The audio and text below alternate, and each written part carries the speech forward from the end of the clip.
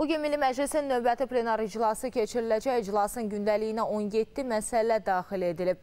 Müzakirə ediləcək məsələlərə inzibati xətalar və vergi məcəlləri, büdcə sistemi, dövlət borcu haqqında vergi məcəlləsi, gömrük tarifi, işsizlikdən sığorta, məşğulluq haqqında qanunlara dəyişikliyi nəzərdə tutan layihələr daxildir. Media, turizm haqqında qanun layihələri də birinci oxunuşda müzakirə olunacaq.